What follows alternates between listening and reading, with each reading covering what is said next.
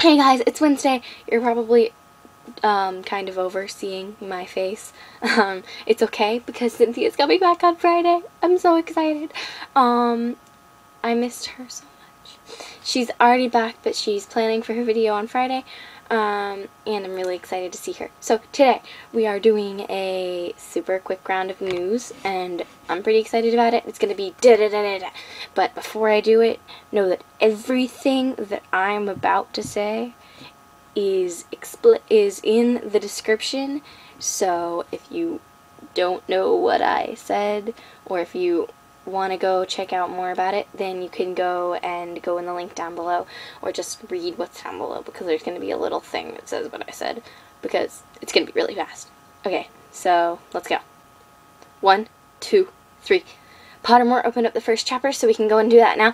They built er, and are building a new hotel outside of Hogsmeade and Hogwarts in Orlando.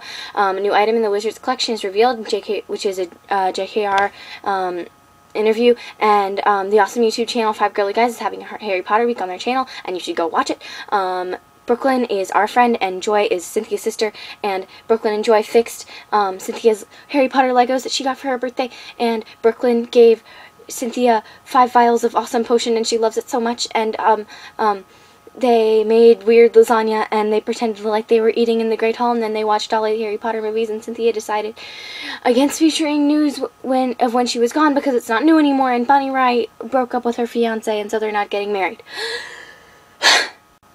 oh yeah, you know how I said that thing about um, Brooklyn giving her vials of potions? She's going to talk about that on Friday and Brooklyn is also going to be in that video on Friday so woo!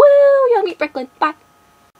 I'm not sure why I said bye. I'm not done talking to you guys. Wait, I kind of am. So... I hope you enjoyed this. It was informational. um, I'll see you guys next Wednesday. Cynthia has Friday, of course, and she is, it's her turn on Monday. So I'll see you guys later. Bye.